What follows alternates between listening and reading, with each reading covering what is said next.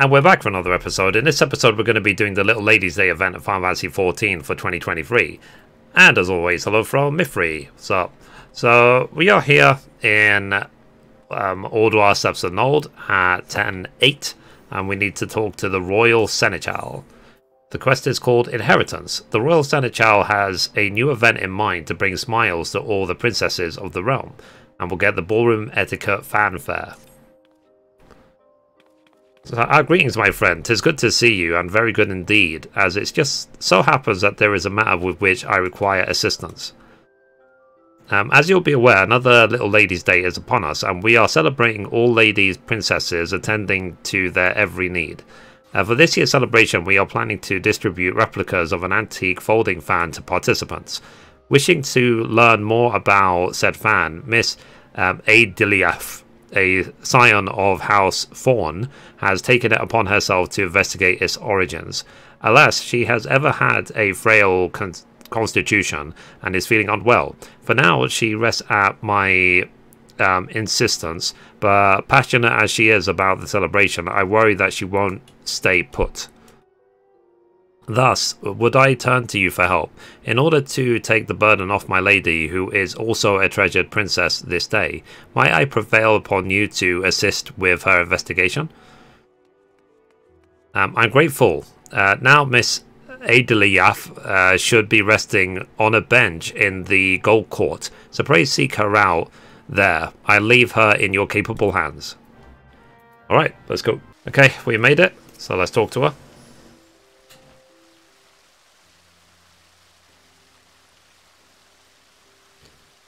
Sigh.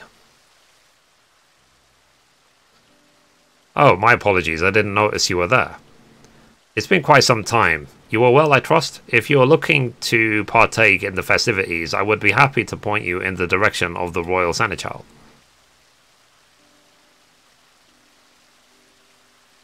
So the Royal Seneschal sent you? Well, I would be lying if I said that I didn't need help. I'm in a worse way than I had realized. I'm supposed to meet with two people as part of my investigation, but loath as I am to admit it, I am in no condition to be up and about. As you may already know, I'm investigating the origins of an antique folding fan, the very one beside me which I found in the Fawn Manor one day. Curious about the design, which is unseen in Ul'dah, I turned to the history books and discovered that it is of a style used in the palace during the Fawn dynasty. Further research revealed that Princess Edyav, my ancestor who gave rise to Little Ladies' Day, once used such a fan in a dance she performed at a royal sorority. Um, it was a very, it was very beautiful by all accounts, and I should have liked to see it. Inspired by this discovery, I consulted the Royal Seneschal, and it was decided that we would make replicas of the fan as gifts for this year's celebration. However, when we showed the fan to the artisan we hired, he declared that while um, undeniably designed in the fawn style, it was crafted much more recently, no more than a few decades ago at most. This led me to wonder who had this fan made and why. With my mother no longer with us, I went and asked my father, but he claimed to know nothing about it and said no more. Though he married into the family, he is the present head of House Fawn. If even he does not know, then I have to seek answers elsewhere.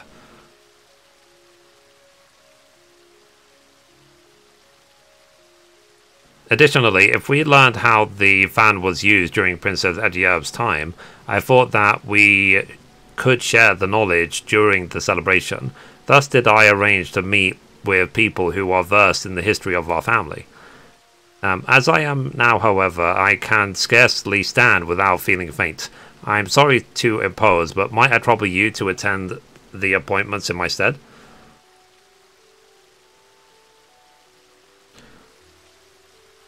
I'm in your debt. Now, you will want to take the fan with you.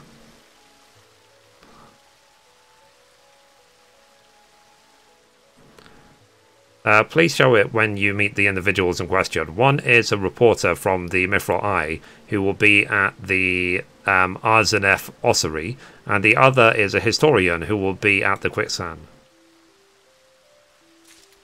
Alright, let's go.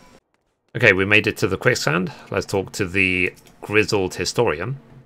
So, can I help you with something? I'm actually supposed to meet someone here, but she appears to be late. Let's hand over the fan.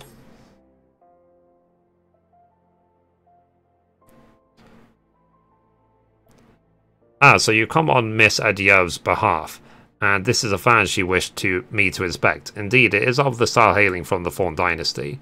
It is said that Princess Edyev carried such a fan when she attended functions. In those days, it was considered meet for noble women to cover their faces, to which end they carried folding fans on their persons.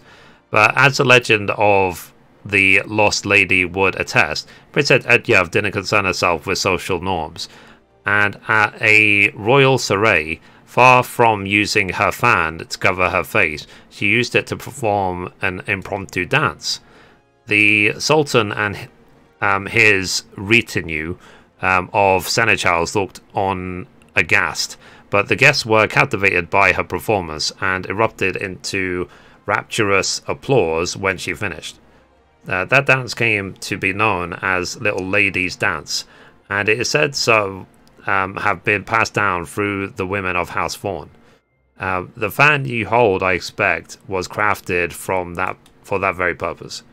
Curious though, as a daughter of House Thorn, it seems to me that Miss Edyev should be aware of this legacy. In any case, I hope I was able to be of some help to her. Pray pass along my regards.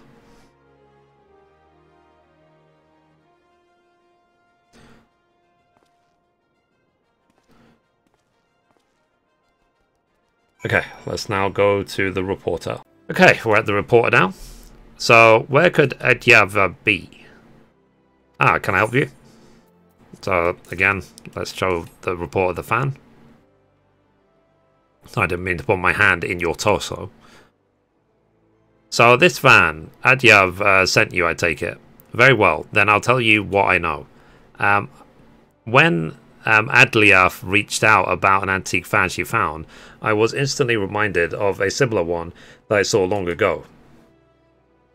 By description alone, I couldn't uh, be certain, but to see it here and now, there's no doubt in my mind. This fan once belonged to Adiav's mother, Claudia.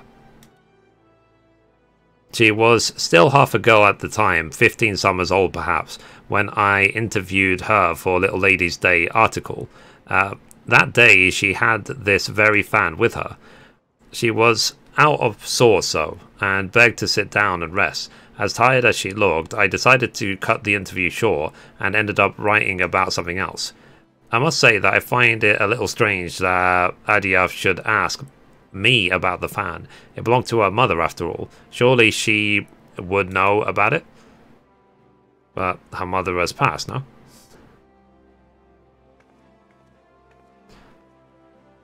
Okay, well, let's go back to Adyaf. Okay, we've made it back to her. So, ah, you are returned. Thank you for attending the appointments in my stead. So, did you learn aught of interest? Let's give her back the fan.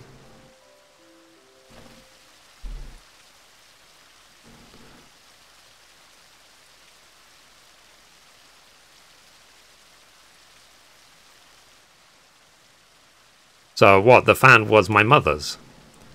And it was used to perform Little Ladies Dance, a dance passed down through the women of our line.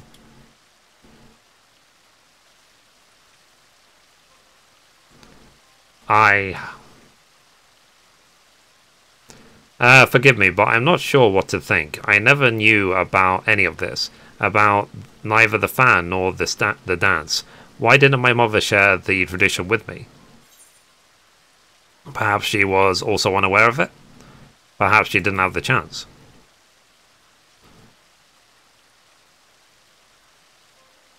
Yes, I feel that is the only plausible explanation. My mother succumbed to illness when I was little. Even if she had wished to pass on the tradition, she never had the chance to do so. But that as it may, my father must have known something. Um, I know not why he claimed otherwise and feigned ignorance about the their fan, nor do I expect that he would willingly talk. Still, I want to know um, about the dance and about my mother.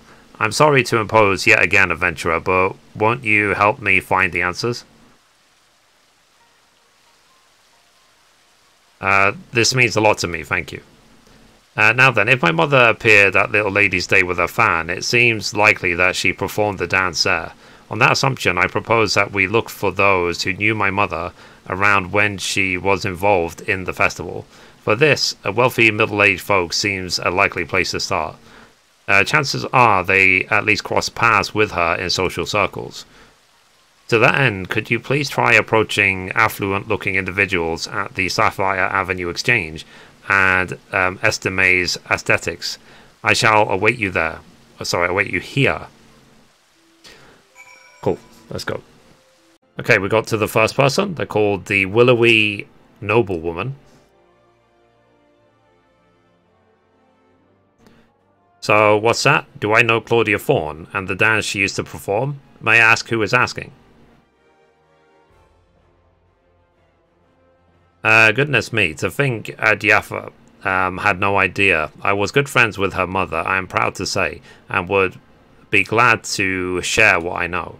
Uh, she was quite final, was Claudia, and constantly looked ill. As a result, she seldom attended social functions, and certainly never performed the little lady's dance in return.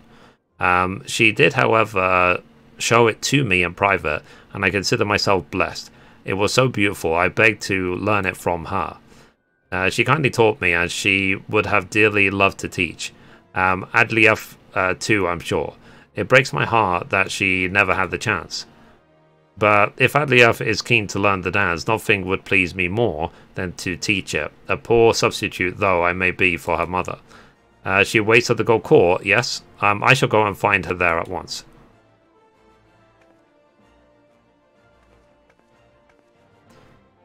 Cool. Let's go to the next one. Okay, we're now at the next person, the haughty mother. So a fond woman who once danced at the festival. I'm afraid that I'm not familiar with Little Ladies' Day. Um, has always been Common Folks Festival after all. Um, if anyone were to know, I dare say it would be the head of the Fawn family. Tis under their aus auspices that the celebration take place. Cool. Let's go. Okay, we made it to the last person is called the Restless Nobleman. Uh, where in the world did she disappear to? So what, did I ever see the dance performed by Claudia Fawn? Um, as it happens, yes. Yes, I did. It was during a Little Ladies' Day celebration many years ago. Claudia was participating for the first time, and I had the honour of being her guide. Uh, by the way of thanks for my company, she showed me the dance. Flourishing her fan, she moved with such majestic grace, I was left utterly transfixed. A dance so lovely that she should be seen by all. Um, won't you perform it on stage at the festival, I suggested, and to my delight, she agreed with a smile. But no sooner did she finish um, entrap enrapturing the crowds than she retreated out of sight and all but collapsed to the ground. Um, it was then that I learned of her frail constitution. Though I hadn't been aware, I felt no less terrible for making her overexert herself. I apologized profusely, begging her not to push herself ever again. And the sad look on her face when she nodded is something I've not forgotten to this day. Ah, but look at me, prattle on to a complete stranger. My apologies. Now then, I was in the midst of looking for someone, so I shall excuse myself.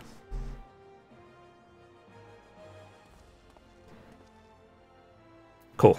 Let's go back to Adliaf. Okay, we're back with her again.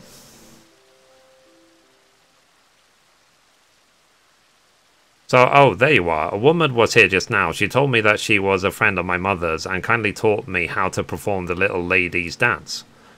It was as beautiful as I imagined it, it would be, and I could not thank you enough of, for finding this person. Now then, were you able to learn or from anyone else?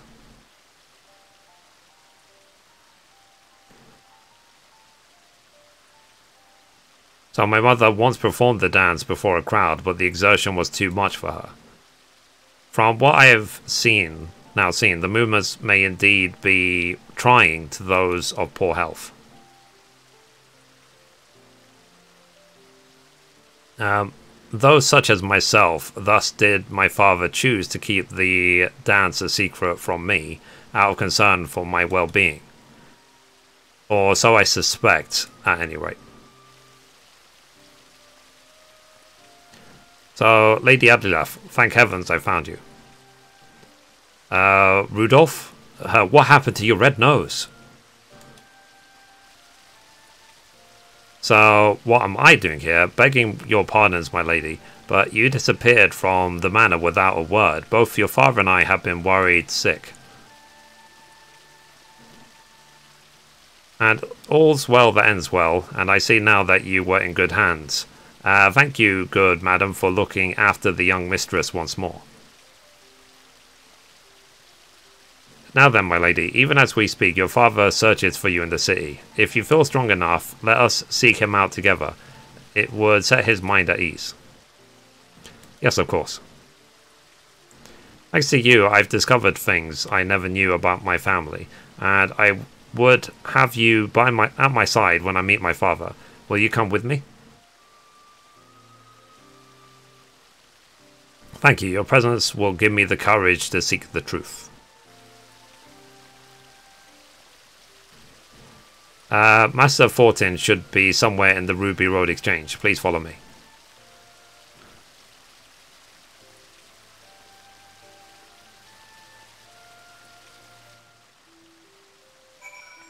Okay, let's go.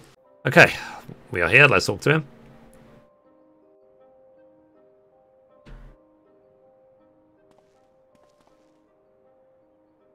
So, you're the woman from earlier. I should have guessed that you were the one who aided my daughter.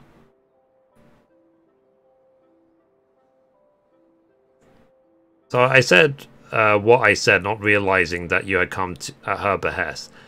But what's done is done. Now, allow me to properly introduce myself. Uh, Fontin Fawn, head of the Fawn family at your service.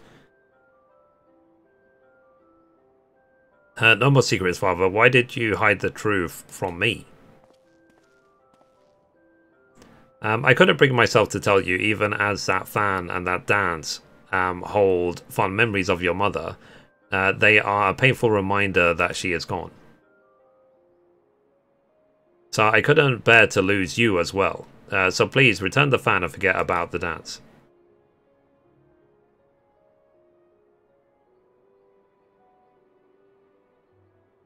So, Father, I understand full well why you feel this way. Were I in your position, I would likely feel the same.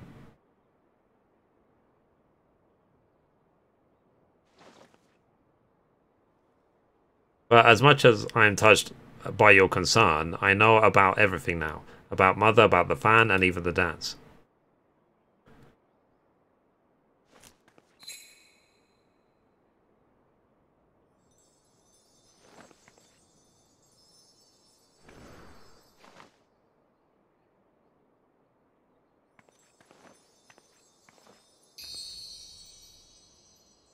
Interesting sound effects.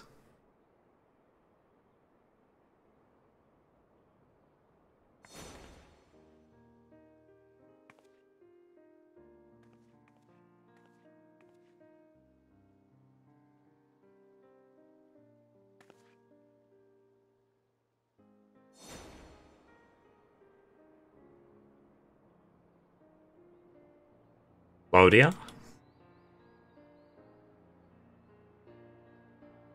Uh, Lady Adelev, um, that was extraordinary. Where in the world did you learn how to dance so beautifully? An old friend of mother's uh, taught me. Despite all these years, she still remembered the entire dance down to the smallest flourish. Uh, mother brought you great joy when she danced for you that day. Um, on coming to understand this, I knew that I wanted you to experience that joy again. Uh, Adli Diafa. I should have given you an easier name.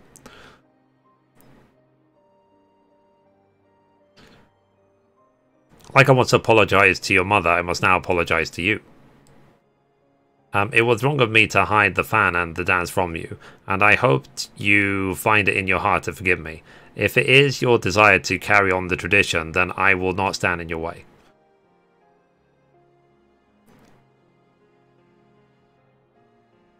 Uh, thank you, but you know, Father, it is Little Ladies' Day. Rather than an apology, is there not a more appropriate gesture for the occasion?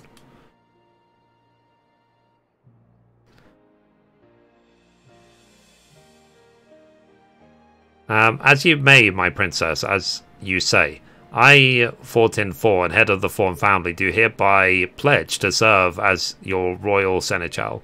Your every wish is my command.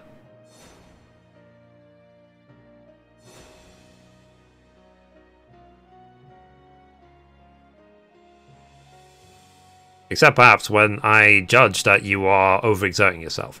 After all, your highness, uh, your highness's well-being is my foremost priority. I shall bear that in mind. Without further ado then, my first wish is to instruct my festival staff in Little Ladies Dance, that we may share it with all who participate in the festivities. If that is your wish, then it is mine as well. On this day, all ladies are princesses, and everyone should be, by right, um, inherit the dance passed down in our family.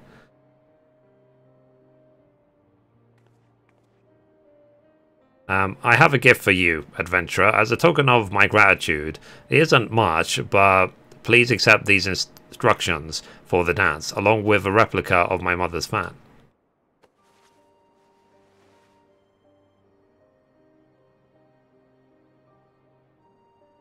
Uh, now then, there is no time to waste. We must distribute these fans to as many people as possible and share with them the history of the dance. This will be a little lady's day to remember. Oh yes, it will.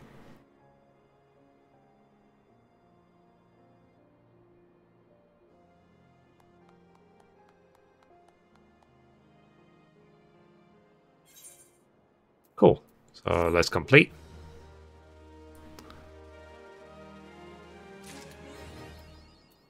I got the achievement, her greatest fan. And then let's see. I've used the dance, I've learned fan fave. Let's see if there's anything else for us to get from this event.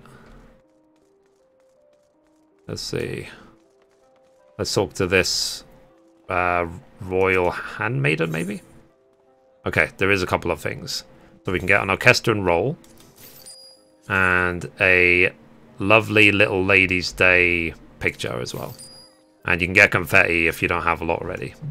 Alright, so anyway guys, that's it for this episode. Thank you for watching, and as always, goodbye from me, and goodbye from Mithrie. Bye guys.